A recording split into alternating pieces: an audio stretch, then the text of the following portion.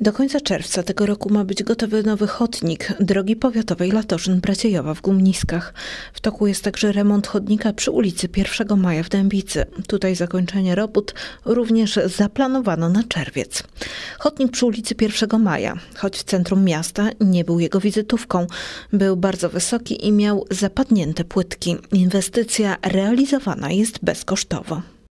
To jest jeszcze kontynuacja budowy mostu tak naprawdę, ponieważ taka była umowa między nami a wykonawcą, że w ramach y, budowy mostu wykonany będzie też ten chodnik. Już w tamtym roku rozpoczął się remont chodnika Latoszyn-Braciejowa-Gumniska. Jak podkreśla starosta powiatu dębickiego Piotr Chęciek, budowa tej inwestycji znacząco wpłynie na poprawę bezpieczeństwa dzieci i młodzieży. Znajdują się tam niebezpieczne zakręty, wysokie skarpy, które już zostały ogrodzone barierkami. Plus jeszcze chodnik w Paszczynie, nie, niedużo, bo 100 metrów, ale też w miejscu dość istotnym, ważnym koło skrzyżowania, gdzie dużo ludzi się przemieszcza, mm, też dzieci i młodzież.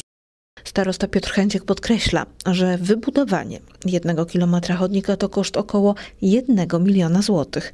Dlatego najkorzystniej finansowo dla samorządu jest pozyskanie pieniędzy z Funduszu Dróg Samorządowych, gdzie można uzyskać dofinansowanie do 70% na drogę wraz z chodnikiem.